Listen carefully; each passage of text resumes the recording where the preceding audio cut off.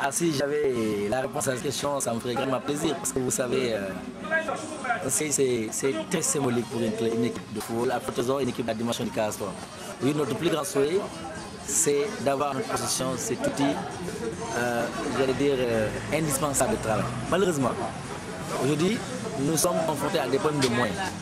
Nous avons un terrain en, plein, plein, cœur de Ziguinchor, un terrain avec des dimensions raisonnables pour un mais malheureusement, c'est pas un problème de, moins pour financer la fonction de ce, terrain-là.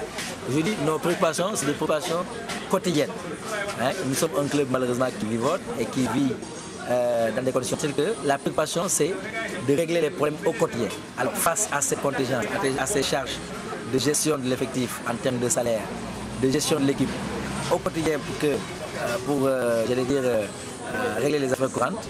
Mais face à ce dilemme-là, nous sommes obligés de faire un choix et de reporter hein, toujours au calendrier grec la caution du ciel. Donc, pour répondre à votre question, cette nécessité, c'est une, à la limite, je dis, euh, une, envie forte du club, mais malheureusement, confrontés à des problèmes de, moyens qui font que pour le moment, on n'envisage pas pour demain la fonction de ce et à ce, propos, avez-vous des appels à l'endroit des, des, des, bailleurs, des autorités pour mm. que...